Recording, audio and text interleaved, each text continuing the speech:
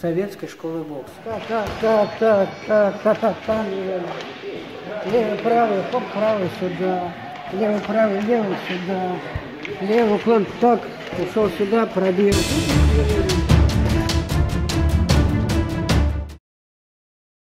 Ну что, поехали. Куда поехали? Сколько вам лет?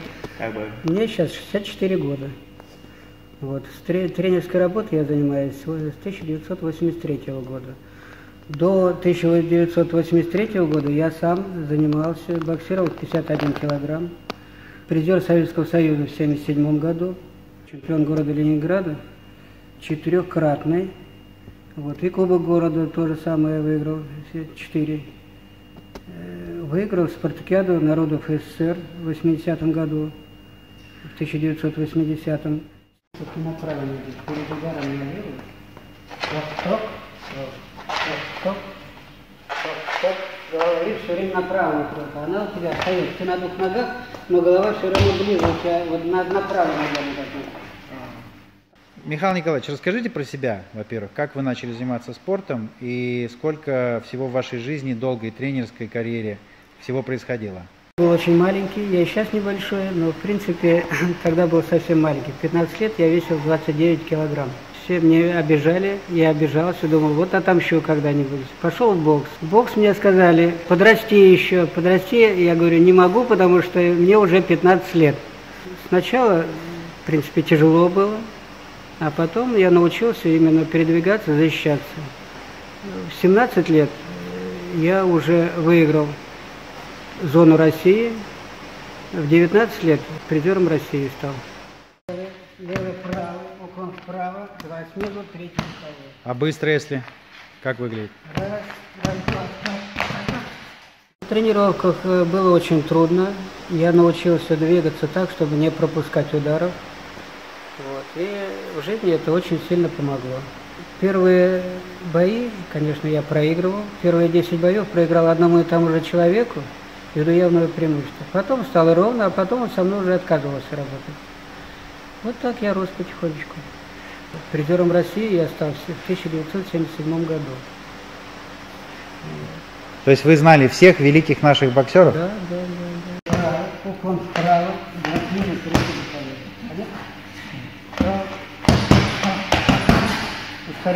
туда.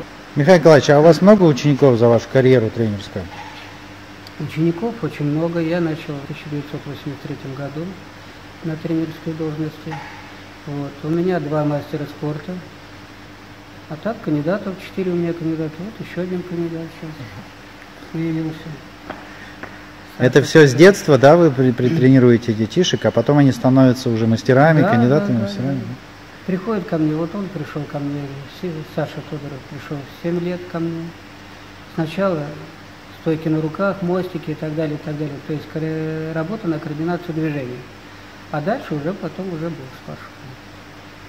Меня зовут Саша, а, занимаюсь боксом уже в районе 9 лет. Вот.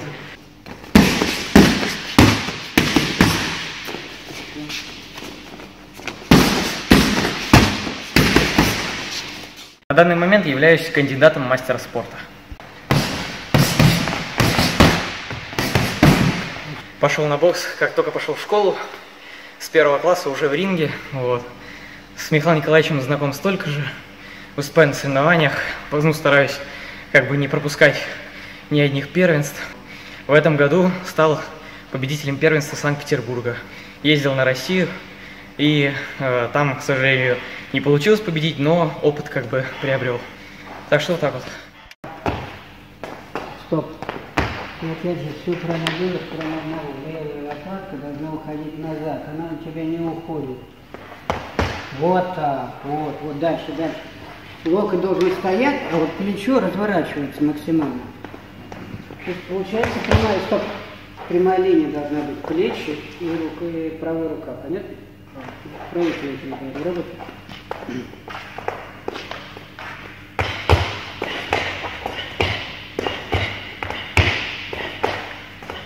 Пришел ко мне в 7 лет.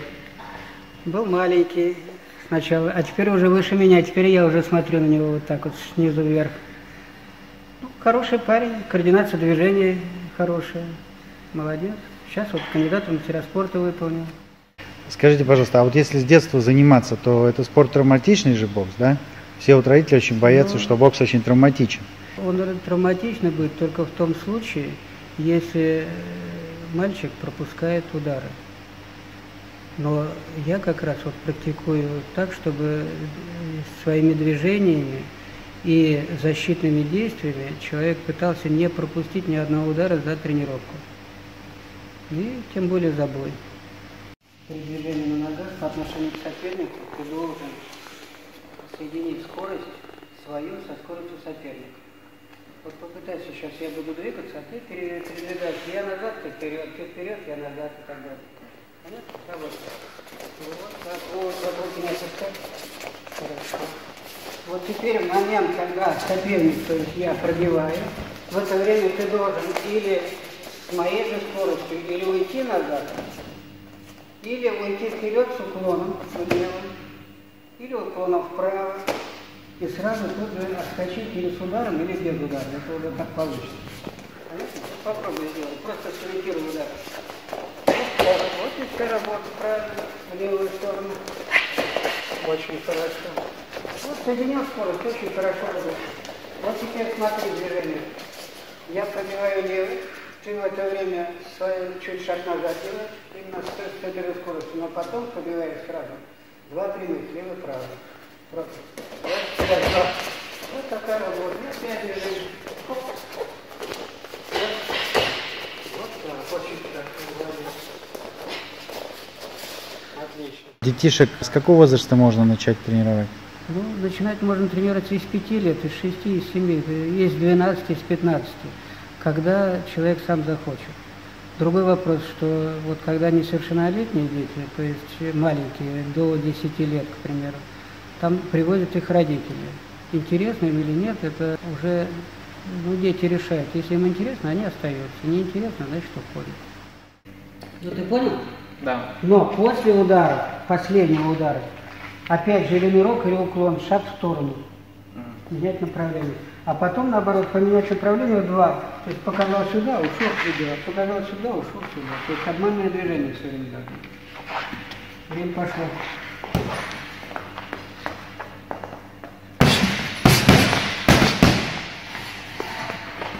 Локоть правый прижми к туловищу. Уклона нет. У меня уклон вправо. Ты снизу пробиваешь без уклона. Мне нужен уклон. Раз, два. Та, та, та. Да, вот это движение. Но не назад уходить, а вперед. Сейчас хорошо. А как мотивировать ребенка, чтобы он занимался боксом? Но если у человека все получается прекрасно, и если его мама с папой хвалят, и тренер хвалит, тогда все будет хорошо. Если мама с папой безразличны, тогда он э, позанимается, позанимается и уйдет. Потому что э, дети все смотрят на своих родителей. Движение влево-вправо маятник называется. Нужно просто движение на ногах. Вниз нога, вниз вверх, вниз вверх. Вот это положение ног. Левый, правый, левый, правый. Сейчас пробираем левый, правый. Так, так. И сразу ушел. Раз, два, три. Движение. Сюда, сразу ушел. Шоп, шоп. Сюда ушел. Сюда ушел. Вот попытайся сейчас сам тоже сделать. От меня, да? Сначала ты пробиваешь. А вот теперь уходишь сюда. Вот так.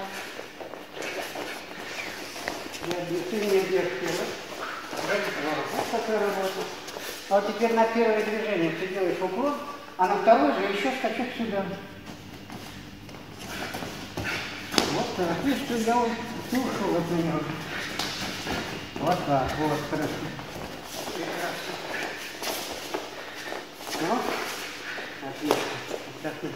Если родители безразличны, тогда он быстро уйдет, мне кажется. Когда трудности начинаются, а трудности всегда бывают.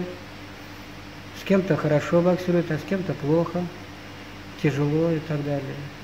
Вот. Выработка характера идет как раз. А Когда много детишек, как вы успеваете за всеми уследить?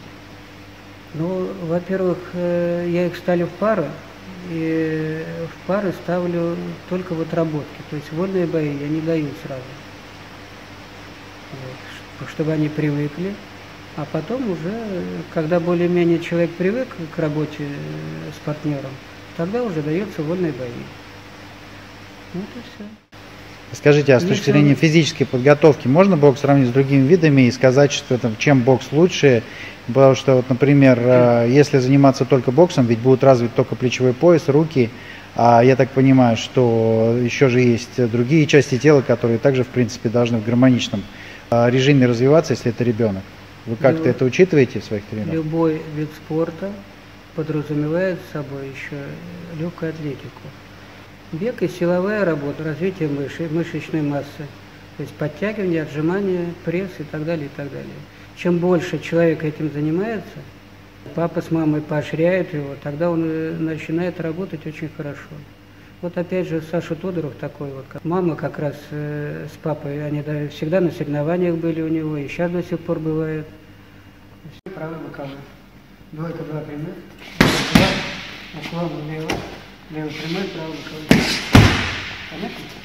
Попробуй.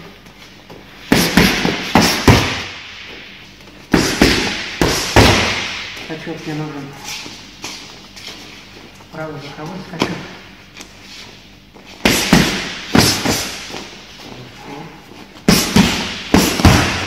Вот тут плохо. После этого уклон влево и там останется у меня. Девять минут.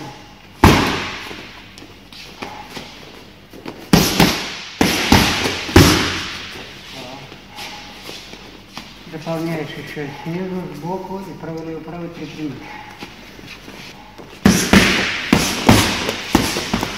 Ну, да, да, плечи закручу.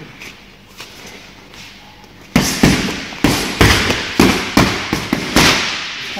красота! Плечи. Право на плечи. Видишь? Мне нужно плечи разворачивать. Просто вверх подпрыгивай и все. Вот и все работает. Стоп, сюда. Скачок. Вот он. Сначала не это движение, а вот это. Разворот кажется. Вот он. Ну, сейчас очень хороший. Левый ног встреч.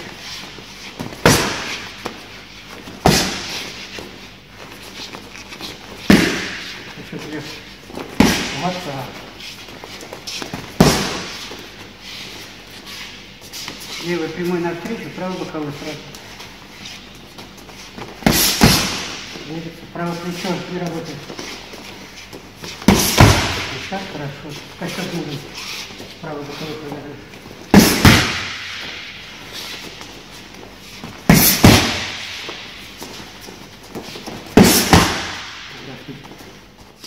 А Говорят, что, короче, когда боксом занимаешься, то ничего кроме бокса в жизни и не умеешь. Вот ты скажи, пожалуйста, вот реально, что дает бокс что-нибудь в учебе там, или ты вот, вот сам-то как учишься вообще? Не, ну лично я учусь отлично, как бы. Девятый класс закончил с красным аттестатом. Вот, как бы стараюсь везде все успевать. В принципе, бокс меня как бы мотивирует не только как к спорту, но и к учебе тоже, как бы не отставать. Вот, я стараюсь развиваться во всех направлениях. Вот, то есть, как бы бокс для меня это как, ну, как хобби. Вот. Я как бы посвящаю ему э, почти всю свою жизнь, но как бы на учебу он не дает мне как бы остановки такой. Вот, то есть наоборот, как бы, э, то есть я прихожу с тренировок, у меня есть определенное время, как бы до сна, вот, и как бы вот это ограниченное время меня мотивирует как бы делать все то, что мне задано, как бы все уроки, вот, то есть чтобы ничего не пропускать, вот, плюс как бы, когда уезжаешь надолго на соревнования, это тебе, опять же таки, дает мотивацию хорошо как бы набрать оценок, чтобы потом уехать и чтобы тебя учителя как бы спокойно могли отпускать и не было никаких вопросов, никаких проблем. Здорово. Вот я закончил институт Лезга, имени Лезгов-то. Он мне очень много дал э, по отношению к детям, к, к детскому боксу и к взрослому боксу. Такое, что дети занимаются, занимаются, а потом исчезают. И вообще, что происходит тогда как бы с ребенком, когда он перестает заниматься? Насколько он а, сам решает, трудно, не трудно, хочет, не хочет? И вообще, можно ли как-то контролировать, если человек хочет заниматься, то отдавать, если не хочет, может быть, и временно приостанавливать тренировки? Как я, вы считаете? Что я считаю? Значит, для детей, которые до 10 лет, и до 15 лет практически. Если родители э, именно интересуются его работой на тренировках, то есть неравнодушны к тому действию, что делает мальчик, э, тогда они все очень хорошо воспитываются, уверенные в себе становятся, и очень хорошо у них все получается. А я смотрел, и девочки у вас в группе есть, да, Михаил Николаевич? Девочки есть тоже, да. Вот как с девочками? Бывает такое, что девочки становятся боксерами? Бывает, но пока вот в данный момент у меня э, именно взрослых девочек нет. Маленькие есть, но взрослых пока не видел я. А группы сколько человек обычно у вас? Вот э, минимальная группа детей ну, и максимальная? группа 5 человек, 5-6 человек, максимальная 15 человек. А почему больше никак или что? Или места мало в зале? Ну, 15 человек, все-таки каждому надо уделить внимание, это очень тяжело. И чем больше народу э, на тренировке, тем э, труднее именно заставить их работать самих по, по упражнениям. Кто-то устает, кто-то не хочет что-то делать, кто-то отвлекается. А вот когда до 10 человек, это очень хорошо. А можно сказать, из каких основных блоков состоит тренировка детская? Детская тренировка, как практически у всех э, и у взрослых то же самое. Сначала разминка, растяжка, э, кувырки, бег – физическая нагрузка, подтягивание, отжимания. Вот. А потом уже э, именно школа бокса называется, то есть отработка по воздуху. Вот это у маленьких детей. У более взрослых, значит, на снарядах работа и плюс еще работа в парах. Но в парах обычно э, работают, начиная уже с 8 лет, 8, 9, 10 лет, э, не раньше. С 5 лет нельзя в парах работать. Скажите, пожалуйста, а если, например, вот средний такой вот э, уровень ребенка представить себе, да, как должен быть ребенок подготовлен, чтобы прийти к вам в школу заниматься? Что он должен уметь? Самое главное было бы желание, э, что он ничего не умеет, это ничего страшного, научится. Если бы есть желание и умение работать, тогда он научится всему.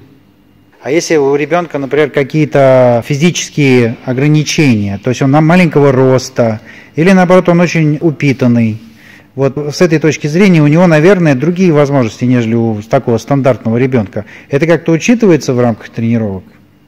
Учитывается, конечно. То есть э, он все может медленнее делать. Э, самое главное, чтобы объем работы выполнен был.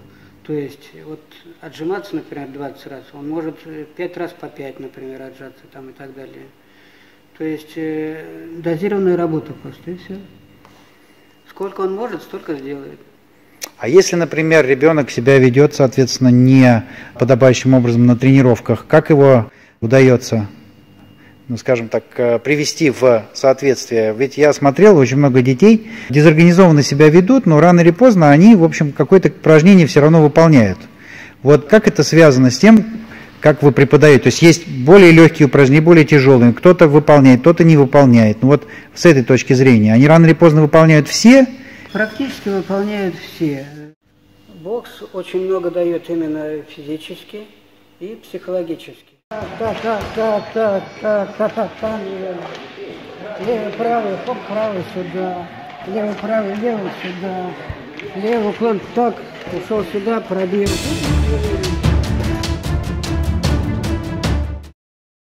Советской школы бокса. Вот, все, я не могу уже сказать больше ничего. Что еще надо говорить?